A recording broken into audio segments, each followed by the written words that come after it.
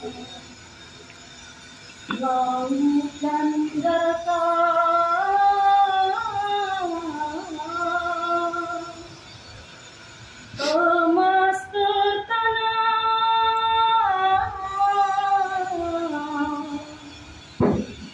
Surganya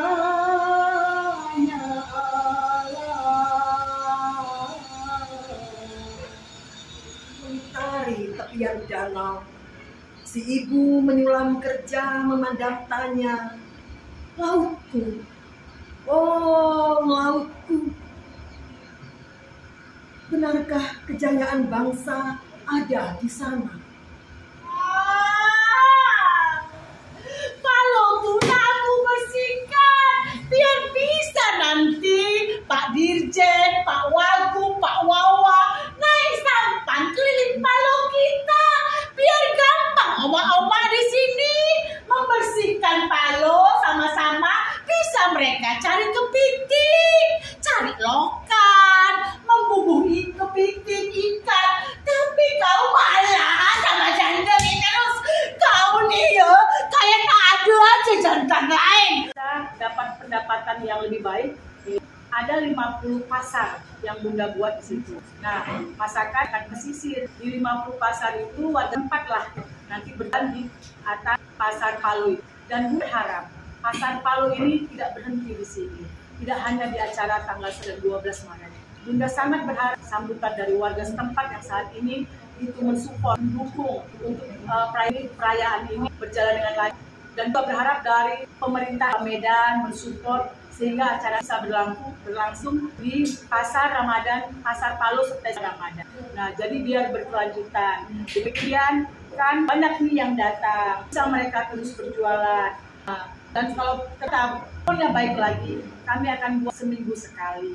Terus berkelanjutan, berkelanjutan. Itu harapannya dan pasti eh, tidak hanya Bunda yang bekerja di sini. Banyak tangan yang, yang ikut ber- bersama-sama kita bergandeng agar acara eh, festival Tuan Palu berkelanjutan. Udah gitu sampahnya di sini kan banyak di Palu itu.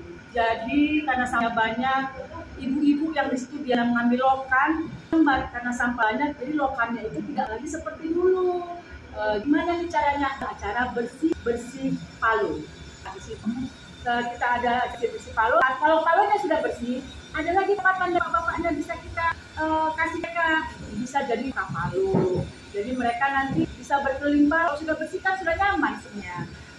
Dan lokan-lokannya juga bisa ya itu bisa kembali banyak lagi. Jadi ibu-ibu itu bisa pendapatan lagi. Nah setelah itu ada acara emak-emak eh, 50 emak drama.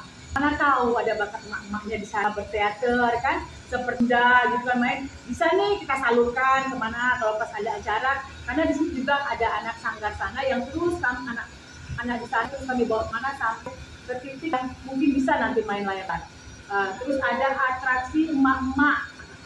Atraksi emak-emak itu cari bakat. Di situ kami melihat bakat-bakat perempuan-perempuan. Palu itu di masyarakat pesisir di sini apa nih? Nah itu juga tugas kami. Untuk mengembangkan bakat-bakat mereka supaya mereka nih andainya punya pendidikan rendah tapi mungkin bisa talent yang bisa kita kembangkan.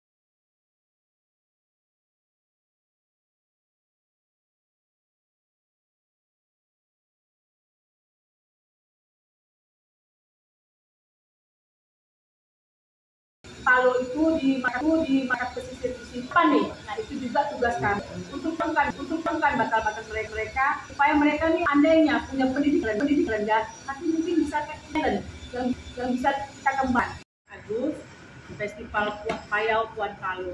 Festival Payau itu aliran Lancang itu eh, anta- eh, air air payau dan hasil itulah tahu Palu alirannya yang bisa kita jadikan lokasi sampan nanti wisata sampan tuannya itu perempuan.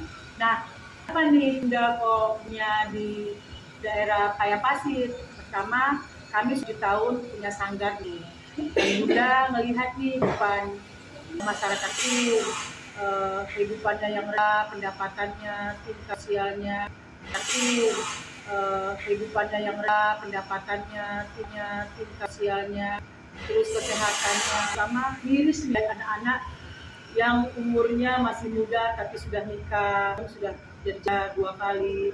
Nah, gimana ya cara supaya bisa nih para puan, para perempuan dari Palu itu bisa bantu nih suaminya agar meningkat pendapatan sehingga kalau pendapatan bertahan uh, pendidikan anda pasti terjadi lebih baik. Nah terus kami ngobrol sama Mas Agus, Mas Agus kasih saran begini, akhirnya kami buatlah uh, proposal ke, ke